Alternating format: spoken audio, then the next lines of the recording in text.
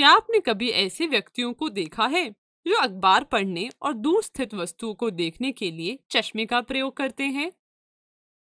ऐसे बहुत सारे लोग आपको अपने आसपास मिले होंगे, जो अखबार पढ़ने के लिए या कोई भी किताब पढ़ने के लिए या दूर की चीज़ देखने के लिए चश्मे का उपयोग करते हैं।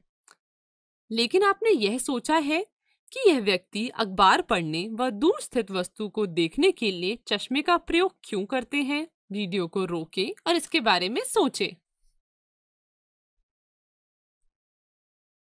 इस तरह के व्यक्ति चश्मे का प्रयोग इसलिए करते हैं क्योंकि वे पास व दूर स्थित वस्तु को सुस्पष्ट नहीं देख पाते हैं, क्योंकि उनकी आँखों की समंजन क्षमता कमज़ोर हो जाती है, जिससे अभिनेत्र लेंस फोकस दूरी को व्यवस्थित समायोजित नहीं कर पाता है।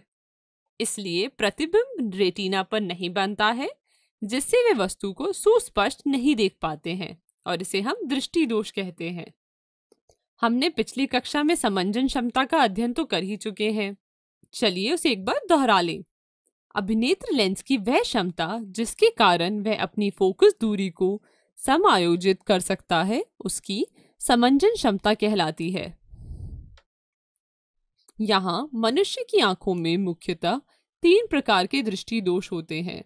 निकट दृष्टि दोष दूर दृष्टि दोष और जरा दूर दृष्टिता चलिए हम सबसे पहले पहले प्रकार के दृष्टि दोष को समझने की कोशिश करते हैं, जिसे हम निकट दृष्टि दोष कहते हैं और अंग्रेज़ी में से मायोपिया भी कहा जाता है। क्या कभी आपने अपने ऐसे दोस्तों को देखा है, जो पास की चीज़ों को स्पष्ट रूप से नहीं देख पाते हैं, जिन्हें अपनी कॉपी या किताब पढ़ने में दिक्कत होती है। चलिए अब दूसरी स्थिति के बारे में बात करें। क्या आपने कभी ऐसे व्यक्तियों को देखा है जो पास की चीज़ों को तो स्पष्ट देख सकते हैं, किंतु वे दूर की वस्तुओं को देखने के लिए चश्मे का प्रयोग करते हैं? आपने अपनी कक्षा में अपने कुछ ऐसे सहपाठी देखे होंगे जो कक्षा में अंतिम बेंच पर बैठते हैं, उन्हें वहाँ बैठने पर बोर्ड का लिखा हुआ अक्षर समझ नहीं आता है। यह एक प्रकार का दृष्टि दोष होता है, जिसे हम निकट दृष्टि दोष कहते हैं। निकट दृष्टि दोष में आप पास की चीज़ें तो स्पष्ट देख पाते हैं, किंतु आप दूर के वस्तुओं को स्पष्ट नहीं देख पाते हैं।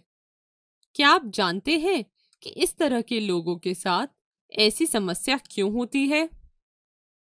जैसा कि हम जानते हैं कि सामान्य मनुष्य का दूर बिंदु अनंत होता है।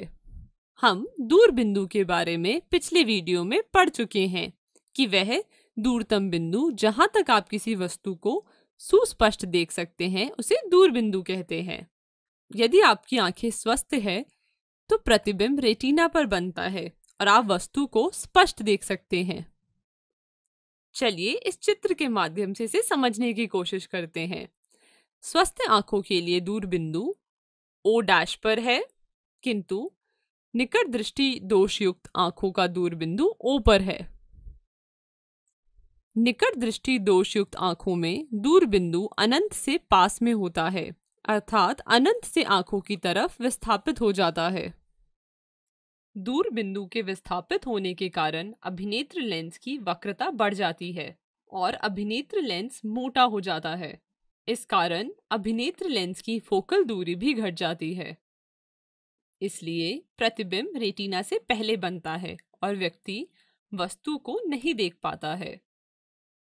क्या आप जानते हैं इस प्रकार के दोष को? किस प्रकार सही किया जा सकता है?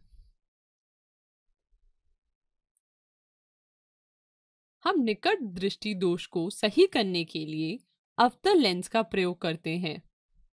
हम अवतल लेंस अथवा अपसारी लेंस के बारे में पिछले अध्याय में पढ़ चुके हैं। अवतल लेंस किरणों को अपसारित करता है।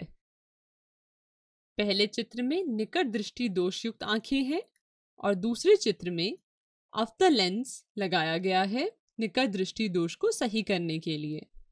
जब निकट दृष्टि दोष युक्त व्यक्ति अवतल लेंस का प्रयोग करते हैं तो यह लेंस इससे गुजरने वाली किरणों को अपसारित कर देता है और यह प्रतिबिंब को रेटिना पर बनाने के लिए फोकस दूरी को भी बढ़ा देता है। इसलिए निकट दृष्टि दोषयुक्त व्यक्ति अवतर लेंस की सहायता से दूर वस्तु को सुस्पष्ट देख सकते हैं। चलिए एक बार दोहरा ले कि हमने इस टॉपिक में क्या क्या पढ़ा।